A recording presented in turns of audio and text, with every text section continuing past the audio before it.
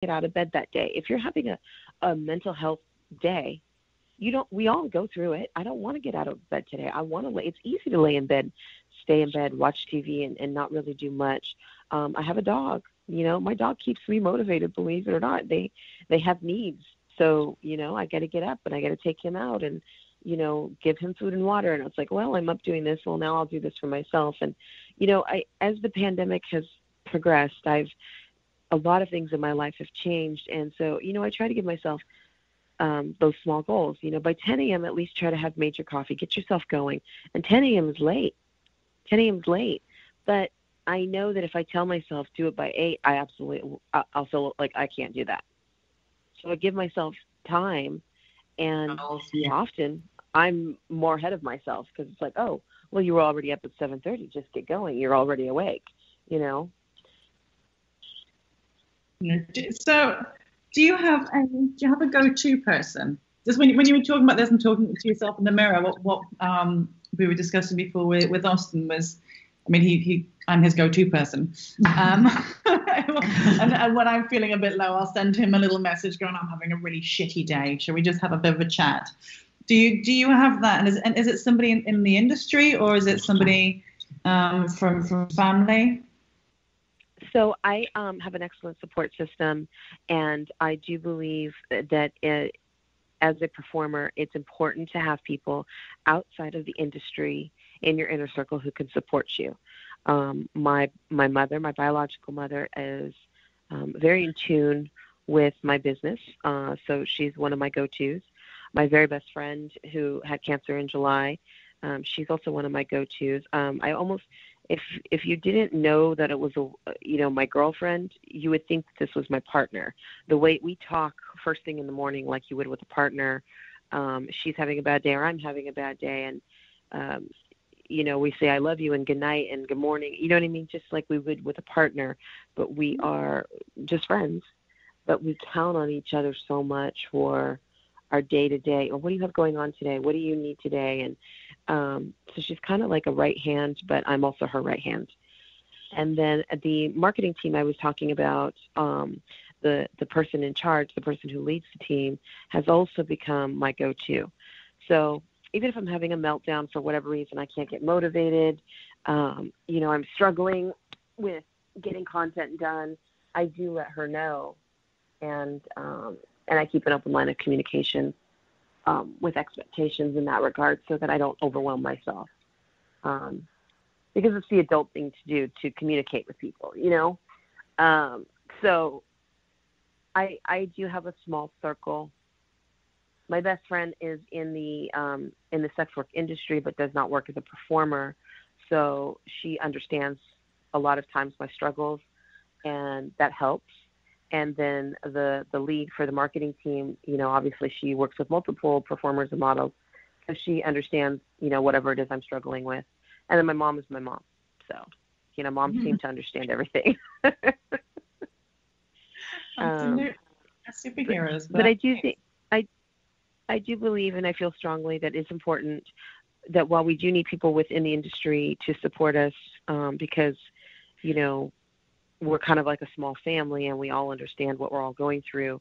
From a work perspective, it is very important to also have people outside um, who can understand you on a more on a more human and personal level, um, and you know putting that work part aside.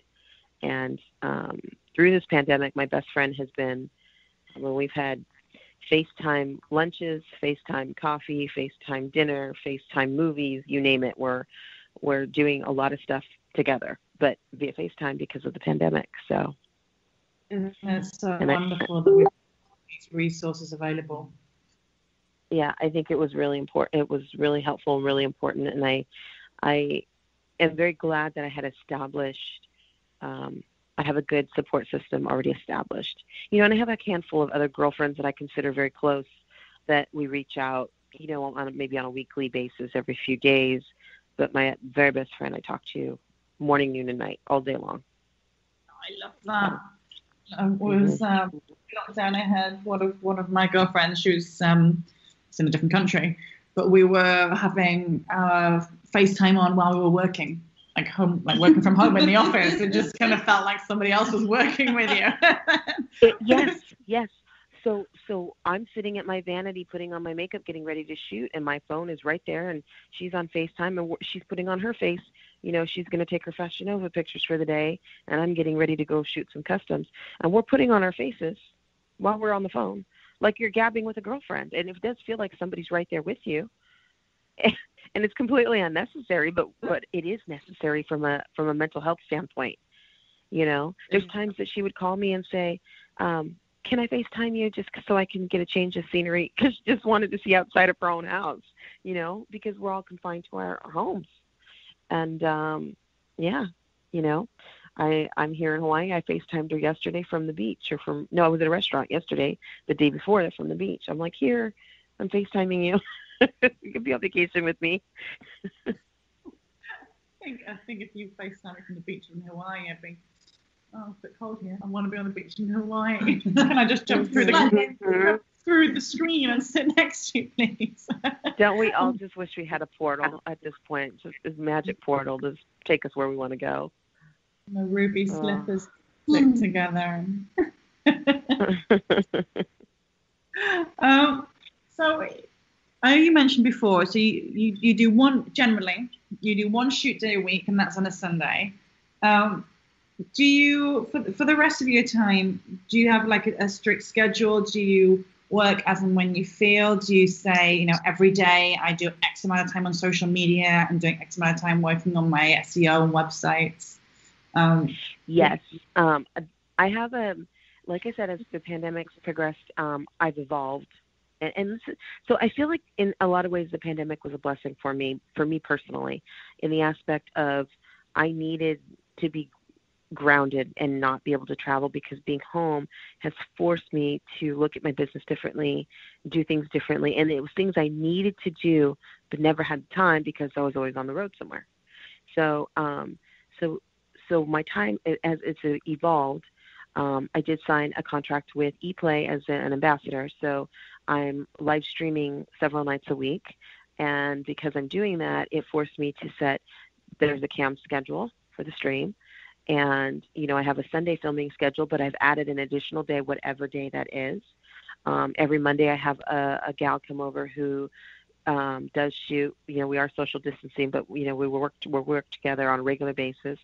Now, um, she comes over once a week to help me shoot the outside anything i can do outdoors or you know i just shoot better when i have someone holding a camera than when i'm self self shooting with my bluetooth which i've done a lot of um, over the last year but it's been it i'm much more efficient if i have someone there and that also helps keep me motivated so one person comes over to my house on mondays and she shoots whatever content i need and um I forgot what my totally lost my train of thought just now. Oh, uh, that's my set schedule. Like I have a set schedule of every Sunday I do this, every Monday I do this, Thursday, Friday, Saturday I'm streaming. But in the more every day, doesn't matter if I'm on vacation, what part of the world I'm in. Um, here, you know, I'm here in Hawaii.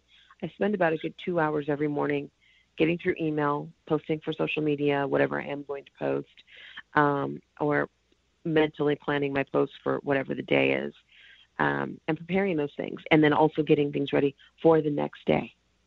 So I try to do everything the night before, and if I have the time, you know, I'm watching a movie or something, and I'm not really engaged in the movie as much, I might start looking at those things for the next day or for the next couple of days. I want to post these things. All of it takes a lot more time. People think it's, oh, you just take a picture and you throw it up on on Instagram or Twitter. It's not. You you have to calculate everything, and and I've really um, pulled back on what I'm posting right now because of all the Twitter and Instagram rules and just, you know, not being sure of what we can and can't say, what we can and can't do. You know, I'm pretty much just posting once a day, but the reality is you should be posting five or six times a day on Instagram and 15 times a day on Twitter, and you need to be calculated with what you're posting. This it takes a lot more brain, yeah. you know, the thought than people realize. You know, you need to have 10 engagement tweets and and five that are links you know not you can't just have 15 tweets that are all links twitter will that'll shadow ban you on twitter so if you don't want to be shadow banned, you have to really mentally think, what am I tweeting tomorrow? What am I going to say? What am I? How am I going to engage my audience? How am I going to keep? How am I going to keep everything flowing? And it's work, and um, it's more work than I think people think. And just having fun on social media or posting small porn clips, you know, it's not it's not that simple. I don't think people have any idea how unless you're in the adult industry and you've been a performer and you've had to work your way mm-hmm. up into the industry, you've, you've under, you know, you, you don't, you can't, you can't get your head around, as you said, all this. Just that's just social media. That's just one really small aspect. Actually, not a small aspect, but that's one aspect it of. Is, it is a very time-consuming aspect. Yep. And then and then you've got to produce your content as well as that, and and edit and and so on and so forth, and you've got to manage all your and I was just going to say that I told, you know, my marketing lead the other two days ago. I said I have a new video. I'm ready to edit it. I'm going to sit down and edit that tonight. I said, how many trailers do you want? Because we usually do a couple of versions for various platforms. You know, I said, do you want the ultra safe one, and then we'll do one that teases a little bit more, and then a full, you know, trailer before the whole video is available. Yes, yes, yes. I said I would do that. That was two nights ago. I didn't get to it. I fell asleep that night. it was a long day in the sun, and I fell asleep. And then I forgot yesterday. So that is on my agenda at some point today.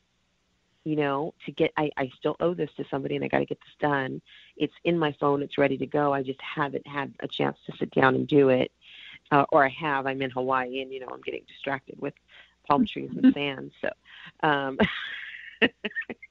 um, and and other and other aspects of my job you know like other aspects uh, we're a full day of shooting today so i probably won't touch my phone to edit or do anything else till late in the evening today and we're so far behind the rest of the world from the time zone perspective that i'm going to lose the day if that makes sense yeah pretty much lose the day today and i know that and but I'm prepared for it. It's like okay, you can lose you can lose the day today. You know, I don't want to, but I was aggressive the last two days because I was preparing for the fact that I knew I was going to be unavailable on social media as much as my, I normally am today, tomorrow, you know, Thursday, Friday.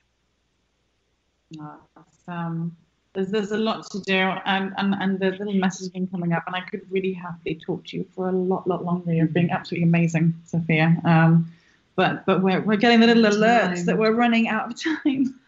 oh, okay, okay. And I guess I just really appreciate think, hearing how much is going on, and it's I don't hear any yeah. lack of motivation, and that that you you know come on early in your time in Hawaii on the show today. So really appreciate that. Thank yeah. you for. Oh, absolutely. You know, I love you guys. I love Pineapple Support. I love supporting you guys. Um, I love what you guys do for our industry, for our community. Um, and you know, I think that the, the industry as a whole, you're you're you're invaluable to this industry, and people need to to see and hear you more because um, I think a lot of people struggle with a lot of mental health things, and we need to know that we have somebody there that that understands. We can't just go to any mental health professional because our our jobs are unique.